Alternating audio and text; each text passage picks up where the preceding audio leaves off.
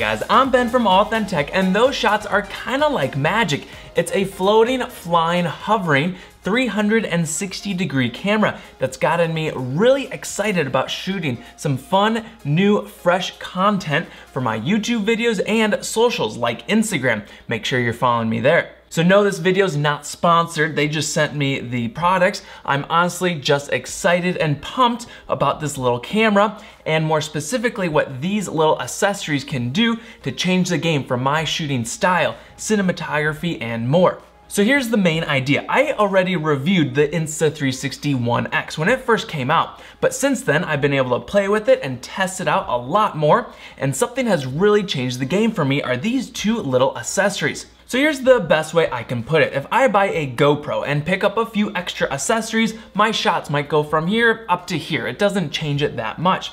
But when I get these two accessories matched up with this camera, it's almost like it's unlocking the full potential that it has, taking my shots from here all the way up to here. First, let me show you what these two accessories are that I'm even talking about. All the links will be down below. This first one is called the Drifter, and it's basically like a dart that you click your camera right in. It's made of really nice materials, good weight balance, soft touch rubber plastic. Two of the fins are soft and bendy, while the other two have some sort of metal plates inside. It's very rigid and sturdy, so that when the camera's clicked in, both your lenses are protected. As they say, this allows your camera to take flight and shoot airborne slow motion footage, capturing every angle at once. So here's just a few examples of almost impossible shots from any other camera rig, but since this camera is shooting in 360 degrees with crazy smooth stabilization, we can change the angle of the camera mid-flight after the fact, keeping your subject always in frame. The shots it produces are sort of awe-inspiring and you'll have a lot of people asking you, how the heck did you capture that? It's super cool, very awesome, and if you think about it, we could never do this with any other camera like a GoPro or a cell phone because chucking it mid-air, it'd be spinning around like crazy. It's only possible because it's recording in all directions and it's coupled with that electronic image stabilization that's super smooth. The other game-changing accessory seems a lot less simple on the outside, but actually has become a new favorite of mine in the gear bag. They call it the extended selfie stick. It's basically a selfie pole with a quarter inch tripod mount on both ends. However, most selfie sticks out there usually max out length around 30 to 50 inches. That's around two and a half to four feet long. This one, however, reaches all the way out to 118 inches. That's 3 meters or almost 10 feet. It's made of carbon fiber, super lightweight at only 8 ounces, and compacts down to just 23 inches, so we could easily carry it around, maybe even fit it in a book bag. Now unfortunately, it doesn't have the twist to lock each section, though this would be nice to see in a future model. Instead, it's sort of like those paper yo-yos where each section of the pole extends fully out and then squeezes the tension and sticks into place. I sort of like that I can flick it outwards and fully extend in seconds, and same with compacting down, it's super quick and easy. We screw the camera onto the end and that's it. No need for a bubble level head or anything as the horizon should always be level and stabilization is hyper smooth. Just watch some of these shots as I wildly swing the camera all around, down 10 feet, up 10 feet, wide sweeping shots. The use cases and creative ideas are almost endless and the results are just impeccable in my opinion. Again, you'll get lots of people asking, how did you get that shot? And you can just smirk and tell them it was magic. Sometimes it looks like a micro drone is racing around. Now yes, one thing I found when using the camera indoors or low light situations, sometimes the stabilization causes a little bit of shutter blur, but it's not terrible and still produces usable footage. Yes, they offer a shorter, lockable selfie stick, still invisible, which is very sweet too, and it's perfect for certain situations. Its size goes all the way Whoops. Its size goes all the way down to just 11 inches, but then out to 47 inches. And it's currently only 15 bucks on Amazon, so it's probably worth the pickup. But again, this crazy long, lightweight selfie stick can be swung fast and wide into almost any nook and cranny. The whole pole is almost fully invisible even when looking backwards towards the camera operator. It's almost like having a portable camera crane wherever you go. Even inside a car, which those vehicle jibs cost hundreds of thousands of dollars. So the world's your oyster, and here's just a few of the fun and helpful use cases I thought that this camera setup could change the game. Now, of course, the first and obvious is filmmaking. This is where I lie.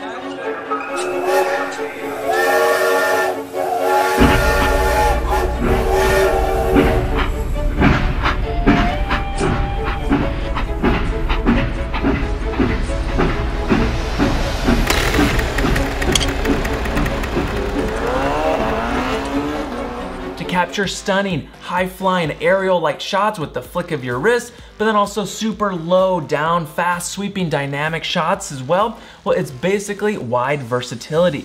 I can also imagine this being an awesome tool for vloggers. Imagine a Casey or others raising the game for fresh and new perspectives. Point the camera back at yourself for walking, talking headshots, but then swing the camera perspective anywhere around at the landscape and subjects of which you want to show your audience. How about the versatility of different industries and businesses like property inspections? This was a funny and small example, but I was able to fast and easy stick this camera right up into a light post, look all around with good clarity and detail, and then swing out wide. Think about roof or building or bridge inspections. Imagine strapping the camera to a drone. Oh, just joking, I actually did that. Carrying the extended selfie stick with camera from my Phantom 4 was lightweight and easy and produced some flying, floating mid-air 360 shots. Very cool and fresh perspective. Speaking of drones, as a quick experiment, I strapped my old Insta360 to Danny's FPV racing drone. He took flight and raced around and the results were crazy. The stabilization and perspective is out of this world and mark my words, this is just the beginning of 360 cameras on drones. Another small but useful idea, use this little guy as a dash cam. It could record and cover literally every possible angle in your vehicle. And that way you're always protected for those just in case moments. If I was an Uber driver, I would totally use this thing. Also, just imagine real estate tours and marketing videos. I used to do that full time and I would definitely use this whole rig setup for shooting high-end real estate content. Okay, so how does all the pricing lay out and compare versus GoPro? Well, stay tuned and subscribe as I'm in the works of creating a side-by-side -side comparison video. The One X and GoPro 7 are the exact same price, currently 399. Some people might ask, well, what about the GoPro Fusion? Well, I never actually had one to test hands-on, but I've watched a lot of reviews and the summary is that the Insta360 is much easier to use. Plus, the price point, the Fusion is almost double the price at 599 and its lower resolution 5.2K video versus 5.7K on the One X and I think it has the old stabilization, not that new hyper smooth like the Hero 7 has. What about versus the Osmo Pocket? Well, yes, I think you'd get much sharper quality video on the Osmo, of course, which is important in certain scenarios, but definitely not always. And of course, you're not recording spherically like this one, so they each have their own place, each different uses. Another funny thing to mention regarding quality, I find it pretty hilarious when I make a big deal. Let's say a camera can record 4K 60 FPS, and then there's people out there who say, well, who cares about 4K? Everyone's watching 1080p, which Sure, that's sort of true, but then let me tell you that this camera exports 16 by 9 video at 1080p, well then there will be people who just say that resolution isn't good enough. The moral of the story is you can't please them all. And a few key takeaways. A, the 1080p footage on here looks pretty dang good for cropping in that close. B, there are a lot of people out there who are not obsessed with high resolution, and 1080p is more than sufficient. But then again, of course, higher resolution the better for myself. I post all my videos in 4K on YouTube. Hopefully down the road, we could see an Insta360 model that maybe has 12K resolution total, 5 or 6K sensor on each side, so thus when we crop in, maybe we're exporting a 4K res video file. That's the dream and hopefully we'll see it down the road. Now, I have two big wish list items for Insta360. A, their new mobile app is hands down awesome and powerful. Let me show you a quick example of how I edit a clip to give you an idea of workflow and processing time. Okay, so here's the basic workflow. I've just copied the files over from my One X. You can do it wirelessly over Wi-Fi or with the cable. It saves battery and goes a little bit faster. And come on in, here's the clips that I copied over. This is a 32 second example clip. What's nice is you can do 9 by 16 aspect ratio, good for the social medias, or 16 by 9. Let's go with this one since it's going on YouTube. There's a few ways of tracking like pivot points and smart tracking. The one I like the best is viewfinder. So it's kind of like a virtual viewfinder. As you maneuver your phone to explore the scene, you'll determine which fixed frame footage is extracted from that original 360 video. So what you see is what you record. Also, if you're feeling a little dizzy, you can use your finger to swipe around.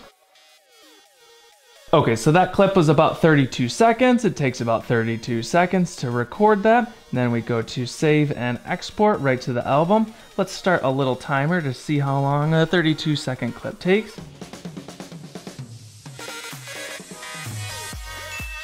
All right, and boom, we switch it over to our albums and there's our recorded virtual viewfinder clip. Super sweet, fast and easy. Then we transfer it over to Final Cut and we're good to go. So, as you can see, it's actually not that bad and has some really nice features baked right in. However, as a full-time content producer like myself, if I shoot 20 or 50 clips in a day, I really, really need fast and efficient desktop software to process those files even faster. Insta360 has some desktop apps, but for this camera specifically, it's right now super basic and can't do half the things that the mobile app can do. The key feature for any professional filmmaker out there, I would really like to see more development for a more powerful Mac software, or even better, a Final Cut plugin with those exact same mobile app features. This way I could zip through clips 100 times faster on my iMac over my phone. If you guys wanna see how I currently edit some of these 360 files in Final Cut, it's currently a lengthier process, but let me know down in the comments and I can make a whole video in itself. Another possible downfall is audio. GoPro and other cameras allow you to record high quality, crisp recording with add-on modules. Lavs or shotgun mics, USB adapters. It's not yet possible here, and this is an audio test. Audio test one, two, three, four. If you need professional audio, well then of course you're gonna need a separate recorder device. And another wishlist idea, I would love to see an option in the settings to auto back up photos and or video wirelessly to my phone. Leave it as a toggle and off by default as I know it'll suck down the battery life, but it would be very helpful to have as I'm out in the field shooting a couple of hours, capturing all these clips, and then later jumping on my phone and those files are automatically copied right over so then I can edit on the go Boom, that would be awesome. No more needing to select clips, copy them over, and then waiting times. This would all be done for me. So for my conclusion, this new camera and setup of the Insta360 One X with the invisible extra long selfie stick and that flying drifter dart, it will bring a fresh and new perspective to a lot of my content creation opening up a world of new impossible angles. I'll give you all the product links down in the description, and if you wanna see more camera videos like this in the future, make sure you subscribe and ring the bell to stay up to date. Thank you guys so much for watching, and until next time, let's live authentic.